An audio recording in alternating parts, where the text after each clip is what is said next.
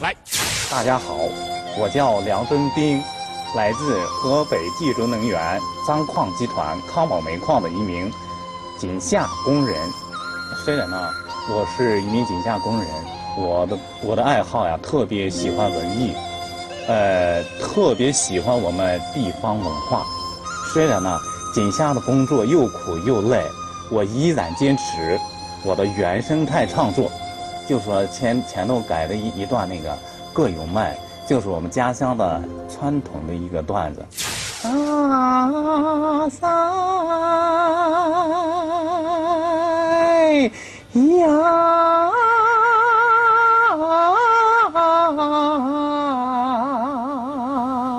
锵锵。这次过来呢，参加这个节目，我非常高兴。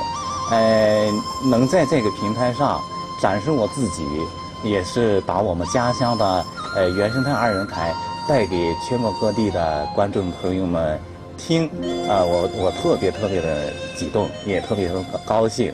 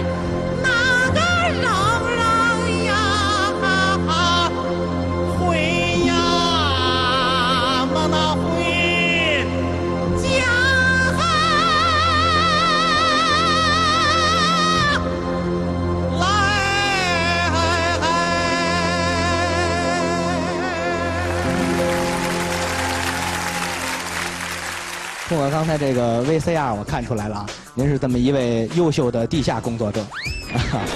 对，我是地下工作者啊，对对对。哦 问问您啊，您平时在这个工作生活当中也喜欢这么唱吗？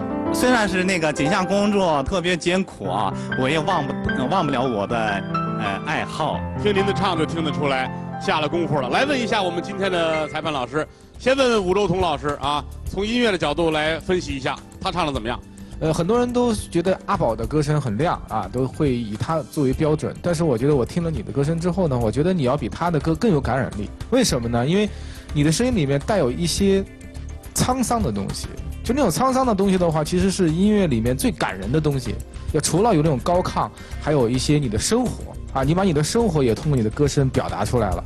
所以这点来说的话，真的是非常棒。谢谢吴老师，石先生，您觉得怎么样？我都听傻了。呃，梁师傅作为一名一线职工，歌能唱得这么好，真是没想到。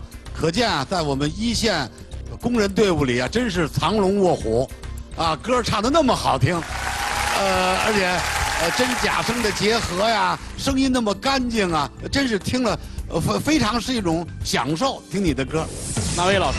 我觉得您不太放松，有点紧，这个再大气一点可能会更好一点。哎，不管怎么讲，三位裁判老师给了您都非常的赞美的词语啊，希望接下来的比赛中能够越来越好。嗯啊，谢谢哎，稍事。